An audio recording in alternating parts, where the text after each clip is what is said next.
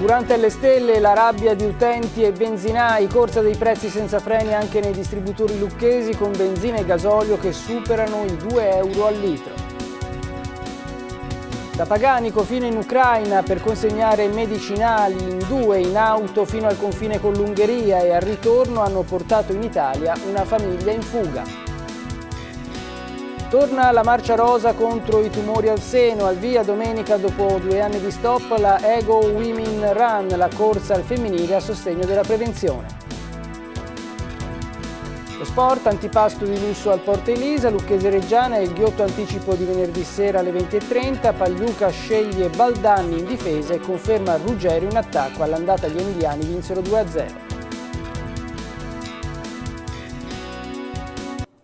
Bentrovati a questo nuovo appuntamento con il TG Noi, in primo piano di nuovo la guerra, in questo caso le conseguenze della guerra in Ucraina anche sui nostri territori, i carburanti, il prezzo dei carburanti è salito alle stelle, Virginia Torriani ha fatto una piccola inchiesta nei distributori lucchesi, sentiamo. Prosegue la corsa al rialzo del prezzo del carburante. Benzina e gasolio hanno ampiamente superato la soglia dei 2 euro al litro, con il diesel che per la prima volta costa più della verde. Allora il diesel lo vendiamo al servito 2,279 e la benzina invece 2,179. Poi chiaramente al self service che facciamo il pomeriggio viene fatto 40 millesimi meno. Per fare il pieno si arriva a spendere anche 30 euro in più rispetto ad un mese fa. Sì, ho fatto il pieno ed è allucinante perché ci vogliono quantomeno da 370 ai 100 euro dove prima ne servivano una sessantina. Quindi eh, speriamo tutti che questa situazione si risolva quanto prima perché si può andare avanti così. Con diciamo 20, 20 30 euro mi veniva pieno, ora me ce ne vuole anche di più. Di più. Sulle 60 euro circa. E ora le...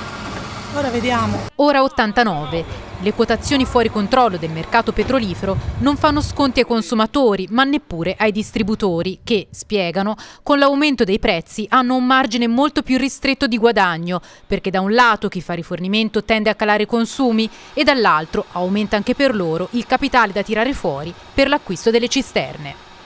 Noi si guadagna sul litro. Quindi che succede? la, il margine sull'ICE è sempre questo, ma se prima con 20 euro che spendeva il consumatore venivano, faccio un esempio, 14 litri, ora ne viene 8 e quindi il nostro guadagno è, di, è diminuito. Arrivi in fondo alla giornata invece di vendere 4.000 litri e ne vendi 3.200 e il guadagno è quello lì. In più per acquistare il carburante ci vuole il triplo dei soldi. E speriamo che si fermi qui, che non vadano oltre, perché la cosa è diventata veramente insostenibile. Gli aiuti alle persone in difficoltà in Ucraina sono partiti in due da Lucca in auto per consegnare medicinali e al ritorno hanno portato in Italia una famiglia in fuga. Sentiamo. Paganico ha un legame speciale con l'Ucraina. Per anni ha ospitato i bambini figli dei vigili del fuoco che spensero l'incendio alla centrale di Chernobyl. È da Paganico che sono partiti Liano Picchi e Sergio Tambellini, un viaggio attraverso il nord Italia, la Slovenia e l'Ungheria per portare medicinali all'ospedale militare di Lusk tra Kiev e Leopoli. Un giorno abbiamo diciamo, eh, contattato i cittadini di Paganico, gli abitanti, si è messo su anche grazie anche a un paio di miei amici un 7.000 euro, poi grazie al farmacista dottor Rossi, del presidente dell'ordine, ci ha fatto comprare medicinali che ci servivano, che avevamo l'elenco, cortisonici, analgesici, eh, antibiotici, quelli di prima necessità e alcuni strumenti per operare pre al prezzo di costo, quindi abbiamo potuto comprare anche di più, si è caricato la macchina per intero fino all'ultimo centimetro cubo, io e il Tambellini siamo partiti. Picchi e Tambellini sono arrivati fino alla frontiera con l'Ucraina dove avevano l'appuntamento con altri volontari. Non hanno quindi attraversato zone di guerra, ma hanno comunque visto scene che non dimenticheranno. Queste lunghe code di bambini accompagnati dalle mamme, separazioni tristi tra padri che abbandonavano lì e ritornavano indietro perché loro continuavano a, il loro servizio militare a svolgerlo e quindi lasciavano. E nel lunghissimo viaggio di ritorno, sette ore di attesa alla frontiera con l'Ungheria, Picchi e Tambellini hanno accompagnato in Italia una famiglia. Noi ci hanno chiesto se si poteva portare gente, abbiamo caricato una mamma con due figli che, che ha diciamo dei, eh, la nonna di questi, quindi la mamma di lei, eh, fanno la badante a Perugia e quindi l'abbiamo portata fino a Firenze dove sono venuti a prendere alcuni e li abbiamo lasciati lì. Effettivamente insomma ci ha, fatto, ci ha gratificato anche il ritorno perché almeno siamo serviti a qualcosa, è una goccia nel mare. Eh. E a proposito di accoglienza, domenica prossima 11 persone provenienti da Kiev saranno accolte a Coreglia. L'amministrazione comunale ha risposto all'appello e alla richiesta della prefettura di Lucca e ha dato la propria disponibilità a sistemare sul territorio tre donne e otto ragazzi. Anche il comune di Capannori sta facendo la sua parte per l'accoglienza dei profughi ucraini e anche per favorire l'ingresso dei bambini e dei ragazzi nelle scuole. Sentiamo eh, l'assessore al comune di Capannori, Francesco Cecchetti. Come eh, amministrazione comunale abbiamo messo a disposizione un numero a cui è possibile telefonare ogni mattina e, e anche tre pomeriggi a settimana per le informazioni di orientamento legale riguardo al permesso di soggiorno, riguardo alle comunicazioni da fare con la prefettura e la questura e riguardo a tutti i bisogni che eh, queste eh, persone in fuga dalla guerra possono avere in questo momento. Ovviamente come vediamo anche eh, dai telegiornali e dalla televisione ci sono anche sul nostro territorio dei bambini bambini in arrivo, siamo già in contatto con le scuole per facilitare l'ingresso di questi bimbi che tanto hanno sofferto nelle nostre, nelle nostre scuole affinché questo passaggio doloroso sia comunque il più sereno possibile. E anche le fondazioni bancarie si mobilitano per l'Ucraina, sentiamo. Anche le fondazioni Banca del Monte e Cassa di risparmio di Lucca hanno aderito all'iniziativa a favore del popolo ucraino dell'Associazione di Fondazioni e Casse di risparmio.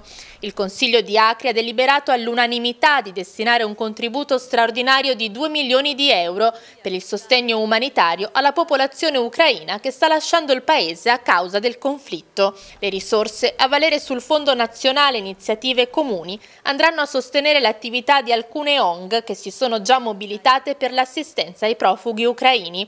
Un primo segnale di vicinanza di fronte ad una situazione imprevedibile e straziante, sottolineano le fondazioni bancarie lucchesi, un sostegno concreto a tutte le persone, molte delle quali bambini, che vivono quotidianamente sulla propria pelle un orrore che tutti ci auguravamo sepolto nelle macerie della storia.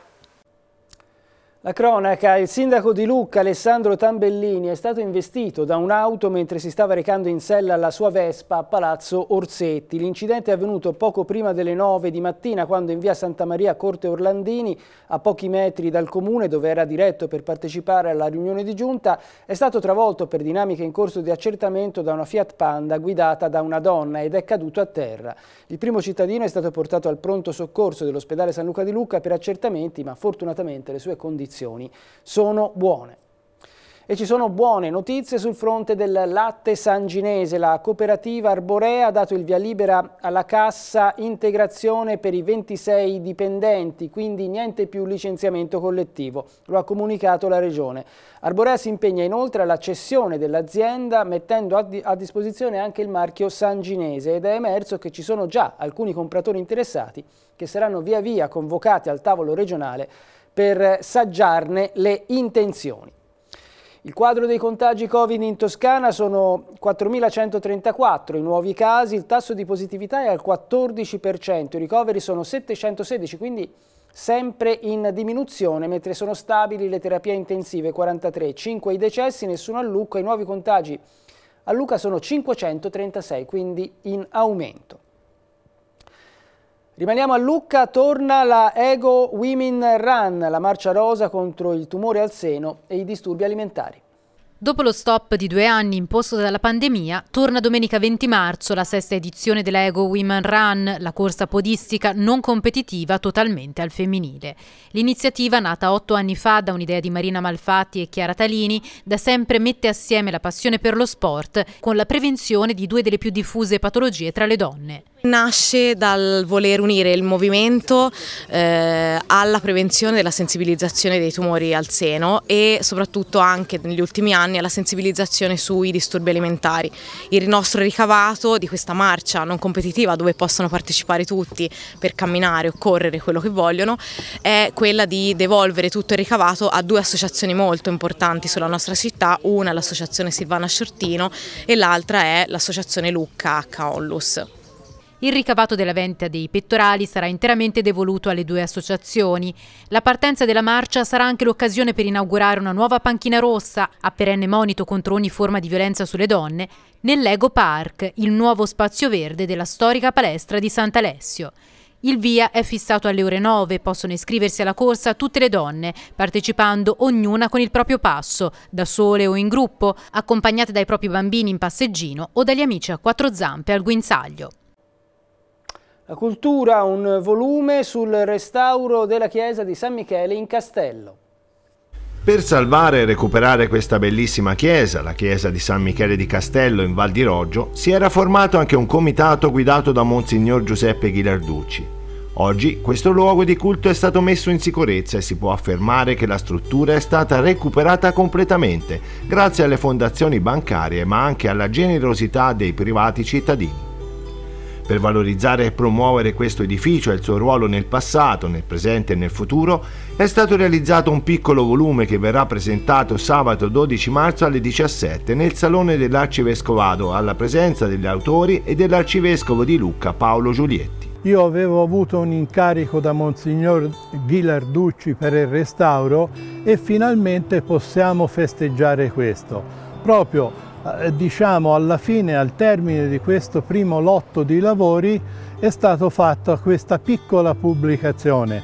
È una pubblicazione che riguarda la storia dei castelli di Roggio, è stata fatta insieme alla professoressa Rita Mandoli Camilla Dallan e riporta eh, diciamo, eh, i momenti di lavoro che hanno portato a veder risorgere questa bellissima pieve che era completamente abbandonata, ricoperta di edera e di quant'altro. L'edificio in futuro verrà utilizzato come punto di riferimento per eventi culturali, anche se al momento si devono ancora recuperare gli spazi che verranno poi utilizzati come camerini per gli artisti. Vista la determinazione del comitato, c'è la certezza che il problema verrà comunque superato a breve. Si è riunita la condotta Slow Food della Media Valle Garfagnana per eleggere il nuovo fiduciario dopo la scomparsa di Rolando Bellandi. I componenti della condotta hanno eletto all'unanimità il figlio di Rolando, Elso Bellandi, che è anche figlio d'arte, visto che da sempre si occupa della, eh, della promozione dei prodotti del territorio in piena sintonia con i principi Slow Food. Ci spostiamo a Porcari perché lo stadio di Porcari ospiterà otto gare della Viareggio Cup, il torneo giovanile internazionale di Viareggio. Saranno otto le partite del torneo giovanile di Viareggio che saranno sicuramente ospitate dallo stadio di Porcari. L'annuncio ufficiale l'hanno dato il sindaco Leonardo Fornaciari e il presidente dell'Academy Stefano Silla. Sarà un evento che coinvolgerà tutto il comune, tanto che si prevedono iniziative anche del centro commerciale naturale e dell'associazione Epi Porcari che gestisce il carnovale porcarese. Nel dettaglio allo stadio saranno disputate 5 gare della fase a gironi, la prima il 16 marzo, e saranno coinvolte squadre come il Milan, l'Atalanta e la Fiorentina. Poi Porcari ospiterà un ottavo di finale e, ma ancora non è ufficiale, anche un quarto di finale. Non è finita qui perché l'impianto gestito dall'Academy ospiterà anche una semifinale e la finalissima del torneo femminile che sarà trasmessa in diretta su Rai Sport. Il bello è che i promotori del torneo avevano offerto a Porcari anche la gara inaugurale e la finale maschile, ma Academy e Comune hanno dovuto declinare l'offerta dati i tempi organizzativi troppo ristretti. Il prossimo anno però sarà diverso. L'anno prossimo vogliamo essere coinvolti pienamente in tutto e per tutto. Quindi per il 2023 e il 2024 dove lo stadio eh, di Viareggio ancora non sarà agibile vogliamo essere primi attori e organizzare le cose già da, da adesso, ricominciare per quell'evento. Per il Comune l'arrivo della Viareggio Cup è il positivo risultato di un impegno iniziato diversi anni fa. Queste sono le potenzialità di questo impianto con gli investimenti che sopra sono stati fatti. L'Academy ha colto questa occasione importante per il Paese che continueremo a coltivare anche per gli anni prossimi affinché questo impianto, che già è, continui ad essere un punto di riferimento per lo sport nella piana. Prima di chiudere vi annuncio che venerdì sera ospite della trasmissione è venerdì, eh, ci sarà il sindaco di Monte Carlo Federico Carrara, ovviamente ci sarà anche la possibilità di inviare eh, domande e commenti tramite sms o whatsapp. È tutto per la prima parte del TG, ora c'è la pubblicità e subito dopo lo sport.